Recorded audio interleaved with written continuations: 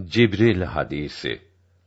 Resulullah Efendimiz eshabına dinimizin emir ve yasaklarını inceden inceye anlatıyor, öğretiyorlardı.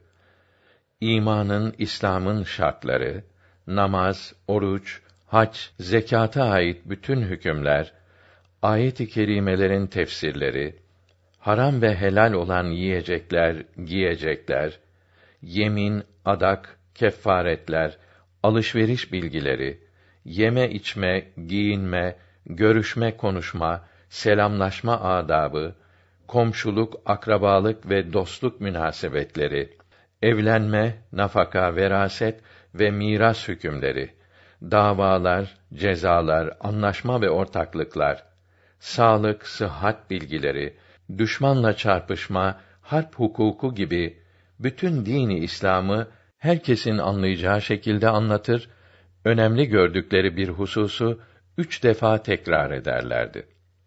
Kadınlara ait bilgileri de mübarek zevceleri vasıtasıyla öğretirlerdi. Müslümanların kahraman imamı, eshab-ı kiramın yükseklerinden hep doğru söyleyici olmakla meşhur, sevgili büyüğümüz Ömer bin Hattab radıyallahu anh buyuruyor ki, öyle bir gün idi ki, eshab-ı kiramdan birkaçımız, Rasulullah sallallahu aleyhi ve sellem efendimizin huzurunda ve hizmetinde bulunuyorduk. O gün, o saat öyle şerefli, öyle kıymetli ve hiç ele geçmez bir gün idi. O gün Resulullah'ın sohbetinde yanında bulunmakla şereflenmek, ruhlara gıda olan, canlara zevk ve safa veren cemalini görmek nasip olmuştu. Bu günün şerefini, kıymetini anlatabilmek için öyle bir gün idi ki buyurdu. Cebrail aleyhisselamı insan şeklinde görmek, onun sesini işitmek, kulların muhtaç olduğu bilgiyi gayet güzel ve açık olarak Resulullah'ın mübarek ağzından işitmek nasip olan bir gün gibi şerefli ve kıymetli bir vakit bulunabilir mi? O vakit ay doğar gibi bir zat yanımıza geldi. Elbisesi çok beyaz, saçları pek siyah idi. Üzerinde toz, toprak, ter gibi yolculuk alametleri görünmüyordu. Resulullah'ın eshabı olan bizlerden hiçbirimiz onu tanımıyorduk. Yani görüp bildiğimiz kimselerden değildi. Resulullah'ın huzurunda oturdu, dizlerini mübarek dizlerine yanaştırdı. Bu gelen Cebrail idi. İnsan şekline girmişti. Cebrail aleyhisselam'ın böyle oturması mühim bir şeyi bildirmek için idi. Yani din bilgisi öğrenmek için utanmanın doğru olmadığını ve üstada gurur kibir yakışmayacağını göstermektedir. Herkesin dinde öğrenmek istediklerini muallimlere serbestçe ve sıkılmadan sorması lazım geldiğini Cebrail aleyhisselam eshab-ı kirama bu haliyle anlatmaktadır. Çünkü din öğrenmekte utanmak ve Allahü Teala'nın hakkını ödemekte ve öğretmekte ve öğrenmekte sıkılmak doğru olmaz. O zat-ı şerif ellerini Resul Ekrem Efendimizin mübarek dizleri üzerine koydu ve Ya Resulallah bana İslamiyeti, Müslümanlığı anlat dedi. Resul Ekrem buyurdu ki: İslam'ın şartlarından birincisi kelime-i şehadet getirmektir.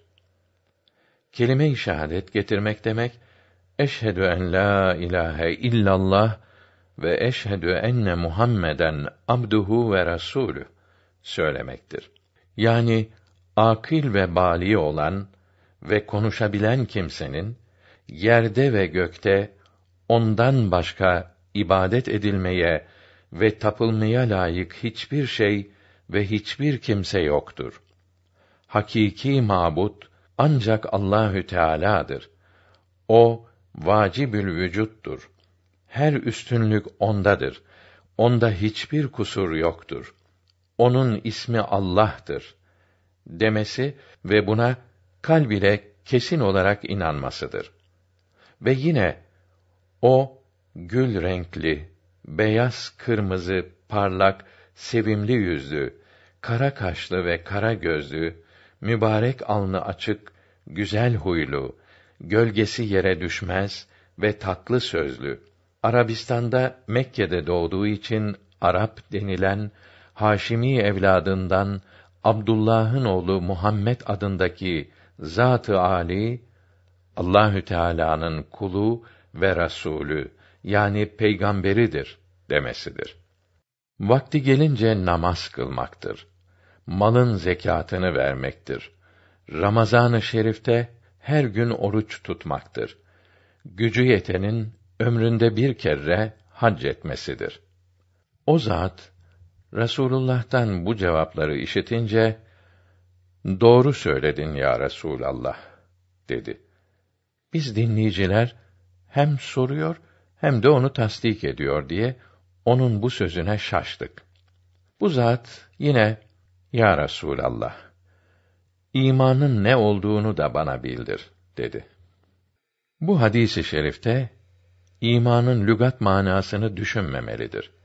Çünkü lügat manası tasdik ve inanmak demek olduğundan Arap cahillerinden bu manayı bilmeyen kimse yoktur. Nerede kaldı ki eshab-ı kiram radıyallahu teala anhum ecmaîn bilmemiş olsunlar.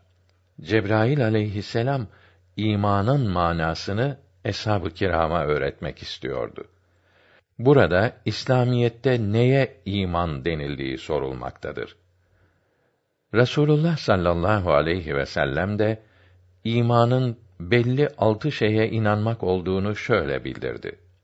Önce Allahü Teala'ya, meleklerine, kitaplarına, resullerine, ahiret gününe, kadere, hayır ve şerlerin Allahü Teala'dan olduğuna inanmaktır. O zat yine doğru söyledin diyerek tasdik etti. Sonra tekrar Ya Resulallah ihsanın ne olduğunu da bana bildir dedi. Resulullah Efendimiz Allahü Teala'ya onu görüyormuşsun gibi ibadet etmendir. Çünkü her ne kadar sen onu görmüyorsan da o seni muhakkak görür buyurdu. O zat tekrar Ya Resulallah bana kıyametten haber ver dedi. Resul aleyhisselam bu meselede sorulan sorandan daha alim değildir buyurdular. O zat tekrar o halde onun alametlerini bildir dedi. Resulullah Efendimiz cariyelerin efendilerini doğurması, yalın ayak, çıplak, yoksul çobanların zengin olarak yüksek bina yapmakta birbirleriyle yarış ettiklerini görmendir buyurdu. Bundan sonra dönüp gitti. Rasulullah bana dönüp Ey Ömer soran kişinin kim olduğunu biliyor musun diye sordular. Allahü Teala ve Resulü daha iyi bilir dedim.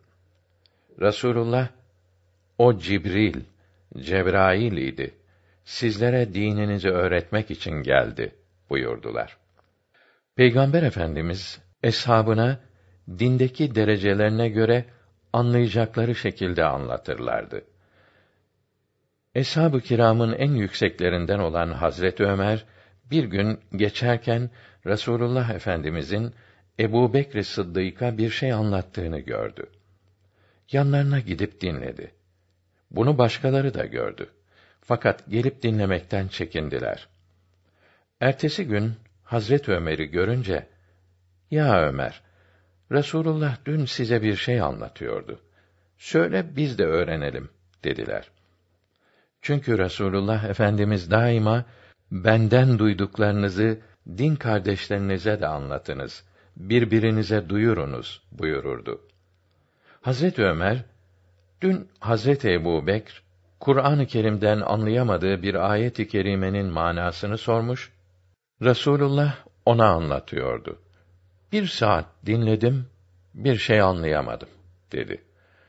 Çünkü Hazreti Ebubekir'in yüksek derecesine göre anlatıyordu. Hazreti Ömer o kadar yüksek idi ki Resulullah Efendimiz ben peygamberlerin sonuncusuyum. Benden sonra peygamber gelmeyecektir. Eğer benden sonra peygamber gelseydi Ömer peygamber olurdu buyurdu. Böyle yüksek olduğu ve ana dili olan Arabiyi çok iyi bildiği halde Kur'an-ı Kerim'in Hazreti Ebu Bekre anlatılan tefsirini anlayamadı. Ebu Bekir'in derecesi ondan çok daha yüksekti. Hazreti Ebu Bekr, hatta Cebrail aleyhisselam bile Kur'an-ı Kerim'in manasını, esrarını Resulullah'a sorardı. Resulullah Kur'an-ı Kerim'in hepsinin tefsirini eshabına bildirmiştir. Sevgili Peygamberimiz bu şekilde eshabına dini öğrettiği gibi davalara bakıyor, şahitlerini dinleyip en güç anlaşmazlıkları neticeye bağlayarak hallediyordu.